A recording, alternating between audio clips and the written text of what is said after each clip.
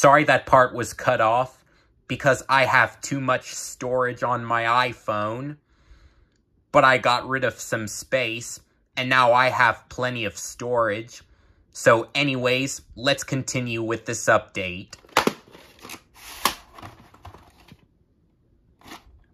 July 28th, 2001.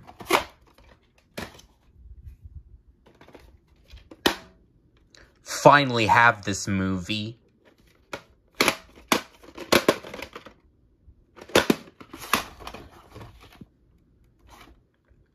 March 22nd, 2001.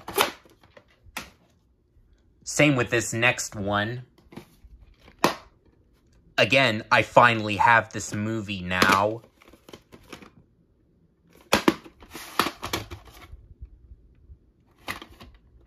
Third week of 2001, so this is a reprint.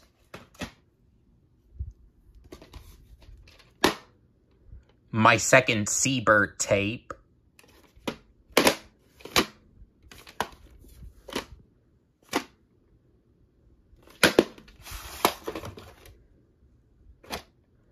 No recording tab. That's interesting. Three tapes left, and then we're done with this update.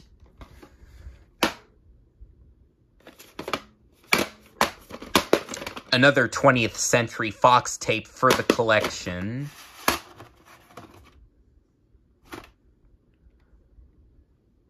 Um... Uh... Um. Um.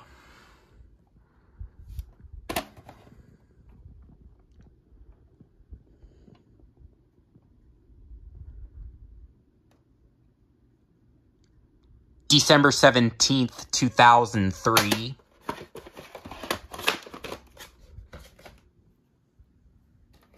Two tapes left, and then we're done.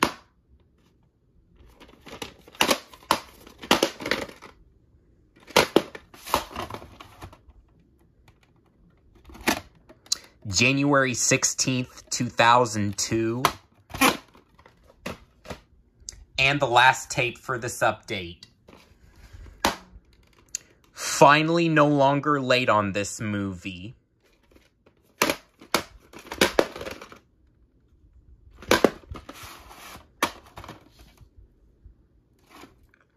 February 7th, 2001.